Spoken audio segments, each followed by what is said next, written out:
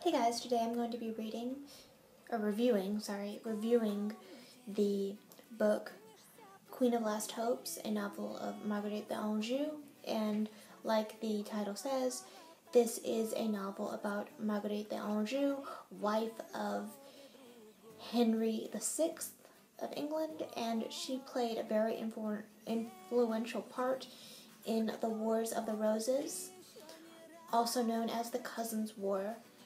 Um,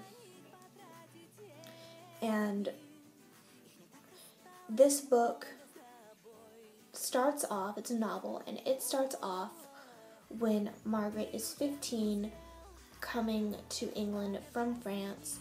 She was chosen as a bride for Henry VI because they wanted an England France alliance because for a hundred years France was at war with England.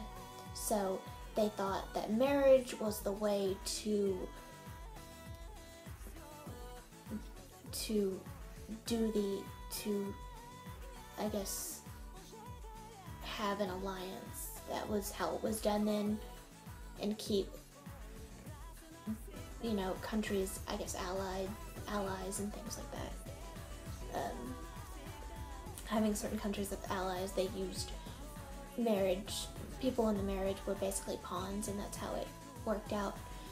And she's only 15 years old, and she's probably, she seems more, she's very inexperienced.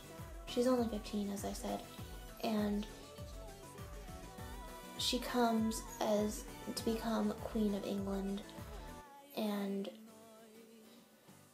it's basically her journey as Queen of England during their time of the Cousins' War. And it basically starts when she's 15 and ends pretty much at her death. And this was a very good read. I could not get behind it at first because of the audiobook narration, but it was really, um, I really enjoyed it once I kind of got past the audiobook narration and was like, I need to finish this. Um, so, what I did like about the book, I loved seeing Margaret d'Anjou in a more sympathetic light because um, history and other pieces of literature including modern some modern literature, has not been kind to her. Um, I believe Shakespeare referred to her as the she-wolf, and in some in some fiction, she is seen as this power-hungry maniac. And we really will never know the truth because this was written at er, this whole thing took place when women were not allowed to rule. She wanted to rule as regent for her son whenever her husband, King Henry the Sixth, fell into what probably was depression. So that just wasn't done in England at that time, so we really don't know was she a crazy maniac? Or were these just was it just you know women didn't rule and you know this woman is crazy for take wanting to take power and things of that nature? We we really do not know. And we will never know. So we just have to people just have to come to their own conclusions. Now i loved the relationship between Margaret and Henry. I thought it was really nice. I thought it was just sweet how they just cared for each other and things of that nature. And I'm not really a romantic, but I thought it was really nice. And I loved seeing Margaret in a sympathetic light, like I said before.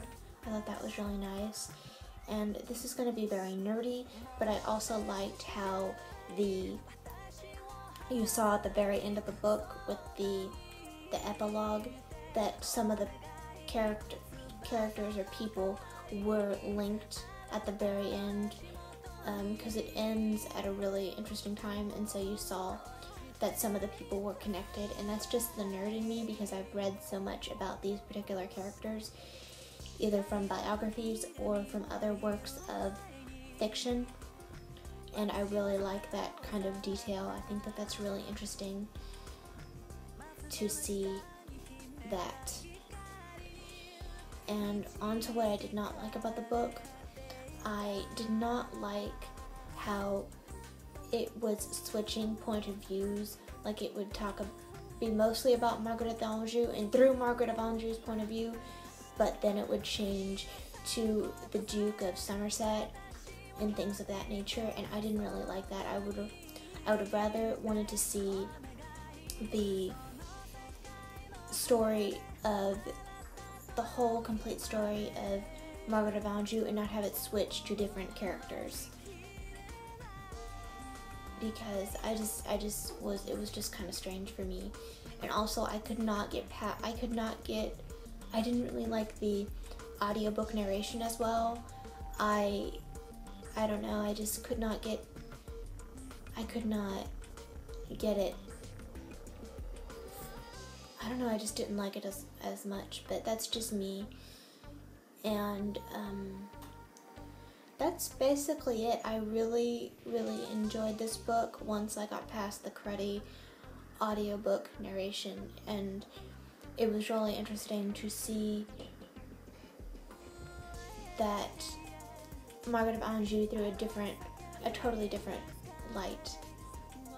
And that's one of the reasons I read different about different people, even though I've read about these people before. That's why I've getting into I've been getting into different authors because you see people through a different light, and I really enjoyed that.